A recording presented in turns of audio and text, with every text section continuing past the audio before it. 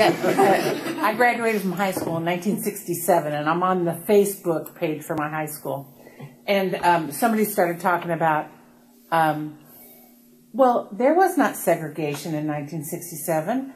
Our all-white school just reflected the neighborhood Yeah, right. without any idea that people were systematically kept out of the neighborhood, Right, you know, and that there were there were black families that lived much closer to the high school than I lived, but I was in a white working class neighborhood, so they bust us in, Yeah. you know, to to the nicer school, and you know, segregated the black kids, you know, in an inner city school. And the resources that go to those schools as opposed to Absolutely. the other schools. It's, Absolutely. atrocious. Well, it's all based on property taxes. But it's amazing to But me that they that's, that's still, segregation. Well, I'm saying yeah, that they don't. yeah. yeah, Same that- thing. that those students still haven't figured that out. Right, You yeah, know, absolutely. that that that uh, that their their their skin privilege was, you know, um, part of their upbringing. And Right. Positive responses you got from the black. yeah, yeah. The only positive responses I got were from um, from uh, African American students who had graduated, who when the neigh- when the neighborhood started, you know, changing, and they started going to school. They said, "We thought that was what was going on." Yeah. Right. So, um, you know, and there were all kinds of other problems as well. I mean, violence, right? Extra legal violence. The the Ku Klux Klan, of course, um, um, comes back um, and uh, responds to Brown versus Board of Education and the other, the 1964 Civil Rights Act and uh, the 1965 um, Voting. uh, Voting Rights Act. And um, so you do have people that are advocating, right, at the highest levels. I mean, JFK, uh, Lyndon Johnson, uh, Martin Luther King. You have high-profile people that are advocating for a change. And so this, this segregation does ha- end, um, at least legally and in part socially, right? I mean, there are uh, public accommodations now that can't um, uh, discriminate based on race. You, I mean, Denny's tries every now and then, but they get shut down, right? They get. I mean, there are ways that um, that gets overcome. So now what, right? Now it's the 1960s. These Civil Rights Act have been passed. The Voting Rights been, Act has been passed. Brown versus Board of Education is finally starting to get implemented a little bit. And the conservative whites who don't want this racial order to change say, what are we going to do now? And so they focus on crime. Um, they find an answer, and the answer is mass incarceration. Um, so um, they start talking about a breakdown in law and order as the civil rights movement is at its height.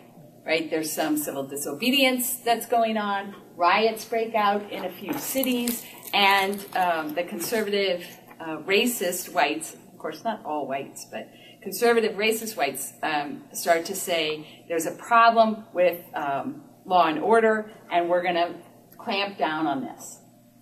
They don't call it racial uh, law and order problems, right? They use neutral language, but that's who they're focusing on. So, um, 1964, Barry Goldwater and his presidential campaign aggressively exploited the fear, the riots of um, black crime, and really laid the foundation for this get tough on crime movement that emerges a decade later and is, I would argue, still with us today. Um, the Republican Party invokes the Southern Strategy. I'm sure you've heard of that, right? Where they use law and order rhetoric among working class whites and an intense um, resentment of racial reform to get Southern whites to switch over to the Republican Party, um, create a new majority in the white South. And uh, Nixon's 1968 campaign does this with a purpose, right? He's quoted as saying, We'll go for the racists, right? That's who's going to help him get the victory. Um, the theories of crime ca- causation that emerged um, said that rather than poverty being at the root of crime, it was a pathology. And it was a pathology rooted in black culture. So that's the way that they started to change uh, the way that we looked at crime as well, right? All of these sociological arguments that I talked about at the beginning um, that had been prominent in the 1960s start to be attacked. And that's when we have this switch from ideas of rehabilitation and treatment um, and mediation and uh, restorative justice, and we get the get tough on crime, lock them up, put them away. Attica. Yeah, Attica, is that what you said? Yeah. yeah. So um, Nixon made this law and order uh, a central part of his campaign, and he issued the first call for the war on drugs. Now, it doesn't really get going until Reagan gets in office, but Nixon talks about it, right? Reagan picks up this call, um, this call for a war on drugs after he's elected. By 1982, just two years right after he takes office, not even, the Justice Department cut in half the number of specialists assigned to identify and prosecute white collar crime. They cut in half. They're, they're uh, part of the Justice Department that was working on white collar crime, and they turned their attention to street crime. This is the federal Department of Justice. And they're concerned now with street crime, right? So they have a little bit of a debate about that. Should the federal Department of Justice be concerned with local communities' problems of street crime? But they somehow get around that. That doesn't seem to stop them. And um, uh, they start uh, focusing on uh, um, drugs. They say this is the problem. Now you got to remember, this is 1982. The crack uh, cocaine epidemic hasn't happened yet, right? It doesn't happen for over a, a decade. So they're focusing on it before it's in the public eye, before anybody realizes that it's a problem, and before local police departments think it's a problem. So the federal government has to figure out how to get local police departments on board and follow them with this war on crime because it's not obvious to them. Enter, enter bobblehead Nancy Reagan with her just say no. It's, that was a big part of it, right? To bring socially people along. They have this huge public service campaign, public service announcements, right? And they start talking about just say no, and that's, isn't that when they did the egg, this is your Yeah. brain, Yes. drugs. Bring on drugs, yes. Right? So they have this huge campaign. It wasn't obvious to anyone that it was a problem, least of all local police departments. So local police departments were like, look, that's not the crime that we have in our neighborhoods. That's not the things that are concerning us. We're not buying into this. So how does the federal government get a local community to buy into it? Property for forfeiture. Well, they they come along with that later, yeah. but it's money, right? We'll give Yeah, you aid yeah. if you if you do this. So um, they create this budget for federal law enforcement. So federal law enforcement budget um, soared um, uh, for the from 1980 to 1984. Um, just one example, they created the FBI um, anti-drug funding, right, increased from eight billion dollars in 1980 to 95 million. Excuse me, eight million dollars in 1980 to 95 million. Eight to 95 million in four years, and every other department did as well. They just channeled all of this money into um, the federal drug, uh, uh, the federal. Uh, uh, law enforcement departments, all of them, the range of them. And then, in addition to Nancy Reagan's campaign, they started talking about crack babies, they started talking about crack whores, gang bangers, bangers, right? And they used neutral, race neutral language, but all the images were racial images. Welfare right? queens. Yeah, exactly. Um, and um, and then they, you know, focused on the black communities. By the mid 1990s, the system was in place. Um, no Democrats, no Republicans, no one was talking about any sort of alternative to the Get Tough movement. Everybody bought in, Democrats alike, right, bought into this movement on the war on drugs. And this is when the sentences for those that were convicted of drug offenses really took off, right? They, they, the legislators, like, legislatures started to put in place these Get Tough uh, sentences, particularly for drug offenders, right?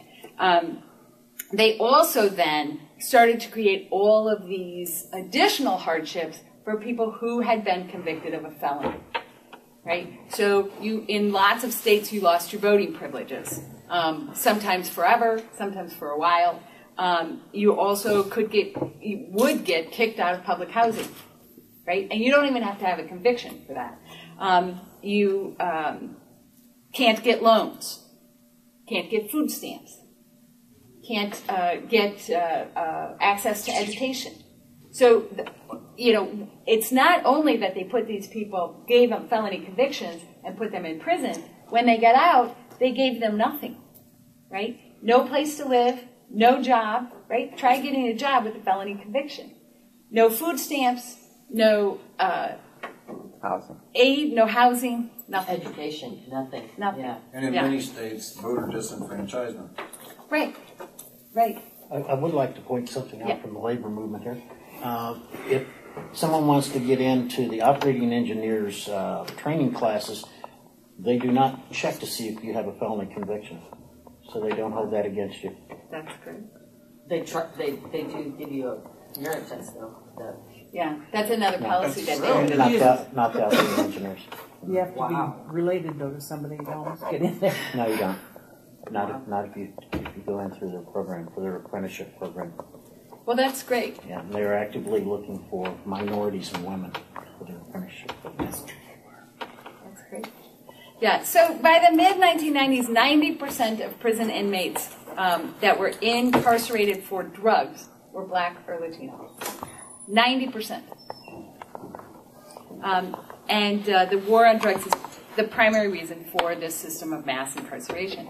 So the reality of the criminal justice system is that if you are uh, poor and you're arrested for a crime, you don't get a trial, you don't get an attorney to represent you, or you do one that's completely over. And I'm not going to trash public defenders here. I know a lot of public defenders that are great people, good lawyers that are committed, but they're completely overworked, um, overextended. Their caseloads are ridiculous, and they have no resources. Right. Right? They don't have a team of investigators So that can they're, so they're not as likely to push something and say somebody They has the don't. resources. They can't. They just don't. They, are gonna take whatever deal the prosecutor gives them and get through the caseload. Exactly. And plea bargains are the worst possible insidious part of the criminal justice system for the poor because people plead guilty to things that they haven't done in order to avoid a harsher sentence because they believe that they're not going to be found uh, not guilty even when they are.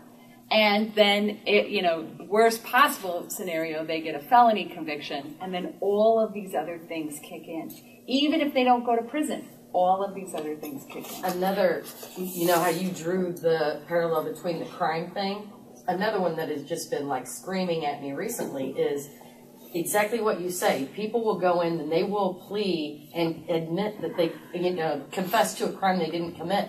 And at the same time, we have Herman Cain saying, I paid these women off, but I didn't do it because I didn't get convicted. So it's sort of a plea bargain in reverse. Right. It's saying, I will give you money if you drop the case, so I'm not convicted. Right. But eh, if you're poor, Right. you're gonna, yeah, it's the exact same thing.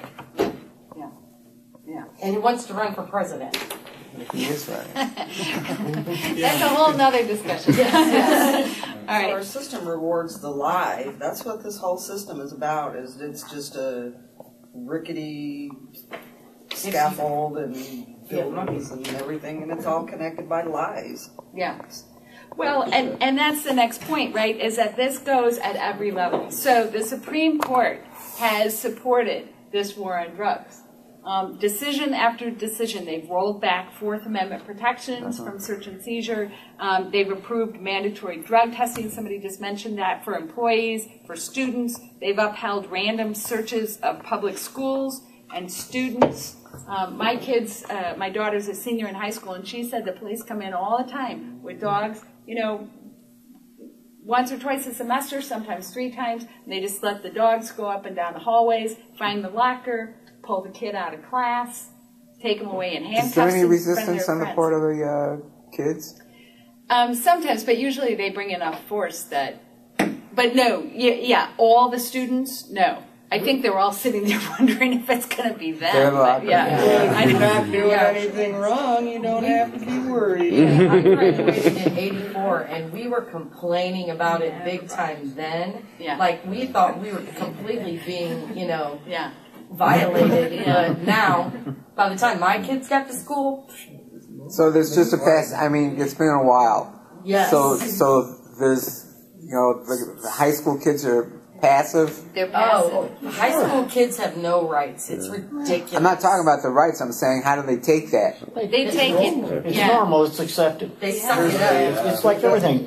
You, you know, you hit somebody, you hit somebody one time, and they don't stand up to you. Then you hit them the second time, and then it becomes normal to get hit. You know, it's like Stockholm system. it's, you know, Well, they've been te- they've been trying to weed out the deviance from the obedience for a long time at this point. And the more people, and you'll notice the, the fuck ups of society, where they end up. They either end up in jail or they end up doing really great things, depending on how they handle plain bullshit. On how system. rich their parents are. Which really is obe- is how well they can blend into obedience. And uh, fuck that. I've, I, I, I've long, Very eloquent. I've long wondered how That's Benny.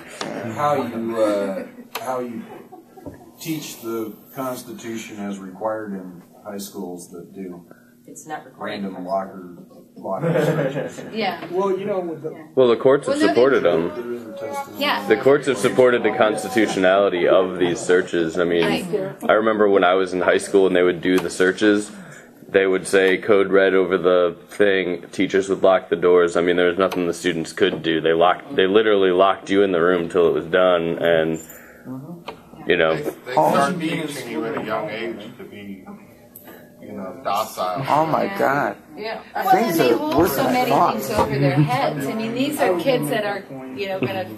What's your point, Drew? I was going to say at the high school that I went to, the way they justified all those kinds of actions was by saying that they were an institution, and if you were part of an institution, you had to abide by whatever rules they decided to set.